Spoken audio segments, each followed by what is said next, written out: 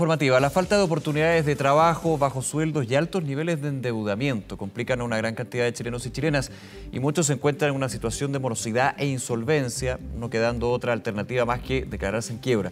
Para profundizar en este escenario, las proyecciones para este 2023, estamos ya en el estudio con Ricardo Ibáñez, abogado y socio fundador de defensadores.cl. Muchas gracias por acompañarnos, Ricardo. ¿Qué tal?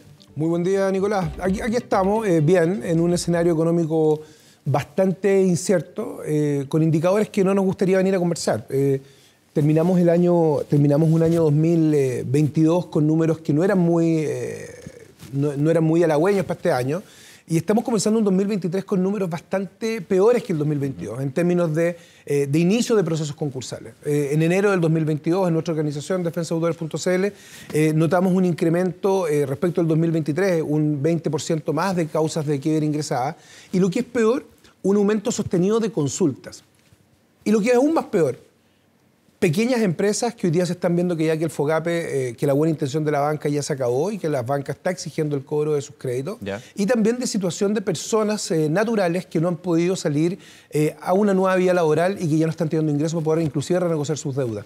Entonces, las alternativas que la banca ofrece hoy de refinanciar créditos o de repactar deudas como hacemos la renegociación de deudas con la superintendencia, ya no están siendo una alternativa para la persona natural que se encuentra sin ingresos. Y hoy día la quiebra, la palabra quiebra, con todo lo que ello implica, que tiene carga negativa y carga positiva, eh, pasa a ser, en el fondo, el driver de decisión de muchas personas que esto jamás pensaron que iban a estar. Hemos notado, fíjate, Nicolás, un fenómeno súper eh, sociológico eh, en torno a la quiebra. Nosotros hasta el año 2022 el perfil de nuestro cliente que recurría, persona natural que recurría a la quiebra, era un perfil medio, medio bajo de la población.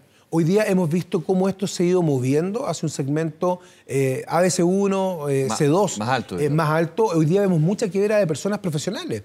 Antes generalmente eran personas que se declaraban en quiebra con oficios o empleos de menor remuneración. Hoy día, te lo digo con nombre, o sea, no con nombre y apellido, pero, pero, pero, te lo digo con cargo. Hoy día vemos muchos gerentes eh, desempleados o altos ejecutivos de empresas que no han podido reinsertarse en el mercado laboral, que optan también por este tipo de procedimientos, y empresas que no han podido ver la luz. Eh, sabemos que durante el 2021 y 2022 tuvimos una suerte de, de paraguas, ¿no es cierto? Una suerte de impermeable que, estuvo constituido por estos aportes estatales, por el retiro del 10%, por los créditos FOGAPES, por el IFE. Había una alta liquidez que de alguna manera lograba ir solventando los meses siguientes. Era un paracetamol. Cuando, nosotros, si, tú, tienes hijos, ¿no es cierto? el niño tiene fiebre y tú le das un paracetamol y el niño se le baja la fiebre. Pero eso no quiere decir que esté sano. Claro. Hoy día, lo que estamos viendo? Se le baja una hora, se le baja un día para otro.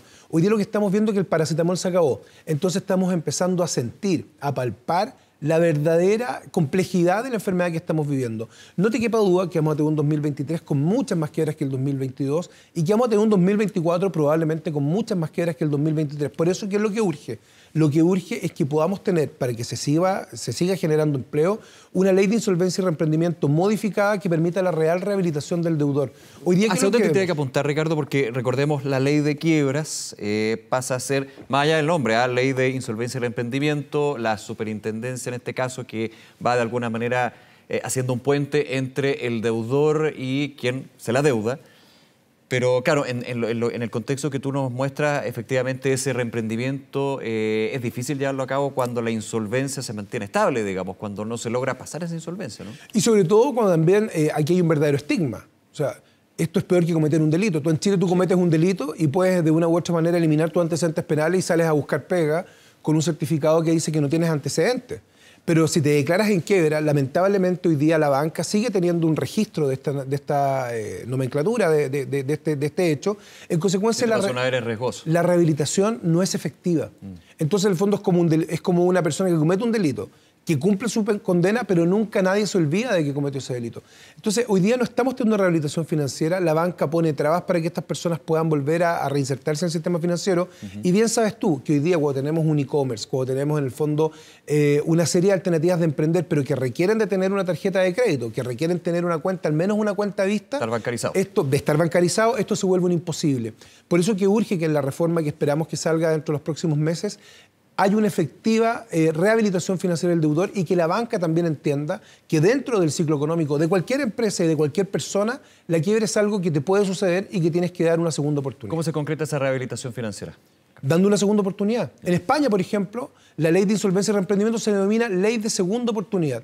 ¿Quién no requirió una segunda oportunidad? Probablemente cuando tú estudiaste periodismo pudiste, pudiste, a lo mejor eh, reprobar un ramo y, te dan una segunda oportunidad de cursar un ramo. Un delincuente comete un delito, la ley le da la posibilidad de limpiar sus antecedentes, reinsertarse en, la sociedad. Pero lamentablemente vemos que los temas de endeudamiento, aunque si tú quiebras, es que has estigmatizado frente al sistema financiero.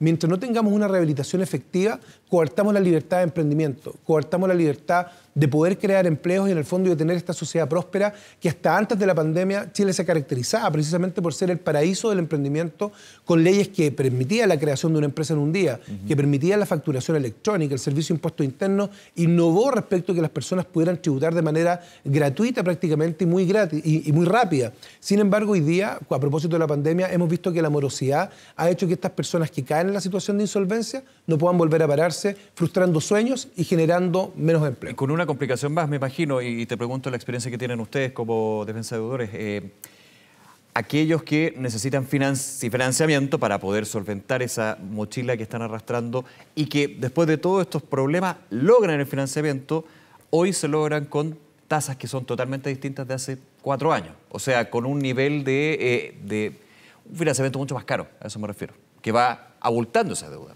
O sea, endeudamiento. y si es que puede si llegar es que puede, Si es que puede, obtienes un financiamiento de mayor interés. Como es un financiamiento de mayor interés, te vuelve menos competitivo. O menor de lo solicitado también. Y, y, te, vuelve, te puedes volver menos competitivo. Y lo que es peor, porque el comerciante es un, es un, es un mono porfeado. Yo alguna vez con, con, mi querido Roberto Fantuzzi, él siempre me hablaba de que los emprendedores eran monos porfeados, que aunque tú les pegaras se volvían a parar.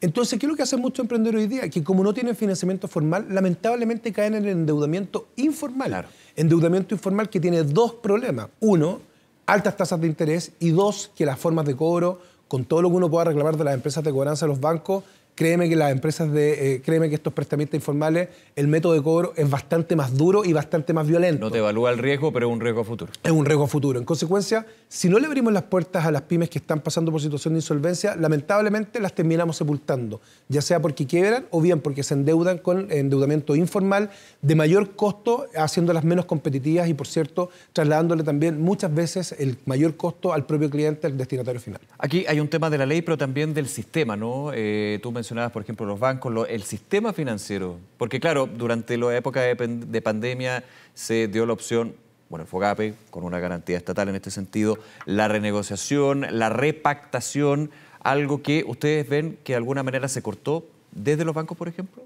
O sea, lo que vemos hoy día es una menos disposición a negociar. Eh, recuerda que cuando parte eh, la, la, pandemia, los bancos de mutuo propio yo no sé si tú lo hiciste, yo lo personal con mi, con mi crédito hipotecario personal lo hice, con un clic yo pude suspender seis meses el cobro de, mi, de mi.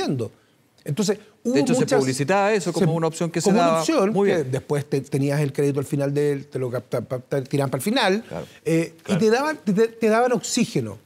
Hoy día ese oxígeno, ese vaso de agua que durante toda la pandemia se le dio a las pymes, hoy día está mucho más restrictivo. Hoy día ya estamos viendo que las pymes entraron en morosidad con los FOGAPE. Vemos que las personas ya entraron en morosidad con sus créditos hipotecarios. De manera tal, te vuelvo a insistir, no es de sorprenderse que hacia fines de año tengamos un mayor aumento de remates de propiedades, tengamos una mayor tasa de morosidad en los créditos automotrices y tengamos una mayor morosidad en los FOGAPE. ¿Esto en qué se va a traducir? En un mayor desempleo y en lo que nosotros tememos mucho, que es la quiebra informal. Si bien es cierto, antes del FOGAPE, con la nueva ley, antes del COVID, con la nueva ley de insolvencia, la mayoría de las quiebras estaban realizándose conforme a la ley. Hoy día lo que estamos viendo en muchos comerciantes, muchas pymes, que al no tener honorario, no tener dinero para poder solventar honorarios, por ejemplo, de un proceso concursal, están bajando la cortina y quebrando la antigua. ¿Cómo se quebraba la antigua? Bajabas la cortina, cambiabas tu número de teléfono, cambiabas la dirección, le ponías candado, te desaparecías y no, nunca más nadie sabía de ti.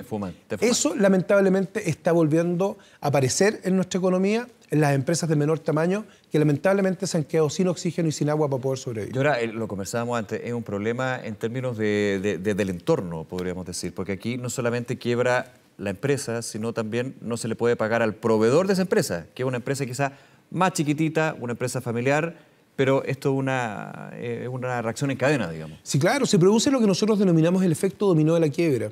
Esto lo empezamos a ver, lo empezamos a ver a fines del 2022 y hoy día con mucha fuerza el primer trimestre del 2023. Cuando quiebra una constructora como eh, eh, Correa, eh, la, Fernández Wood, la primera, después quiebra la, la segunda gran constructora de nuestro país con, 15, con 1.500 acreedores, lo que tú empiezas a ver es el siguiente fenómeno. Quiebran estas grandes constructoras. En consecuencia, tiene problemas de pago y flujos de pago el contratista. El contratista a su vez tiene proveedores, ferreterías.